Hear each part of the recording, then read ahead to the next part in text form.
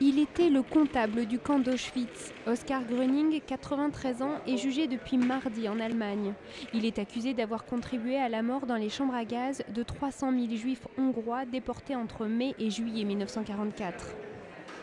C'est lui qui était chargé de récupérer l'argent des déportés à leur arrivée au camp. Au premier jour de son procès, mardi, il a demandé pardon aux victimes. With his mind and his body because he has a lot of difficulties physically and I'm sure emotionally and uh, mentally. He had to think a lot of things. Whom did he remember? What he did? So I think that in one respect, maybe when I'm that old or functioning at that level, he is doing his very best. It's a very long day for him. 70 ans après la libération de ces camps, ce pourrait être le dernier procès d'un ancien nazi.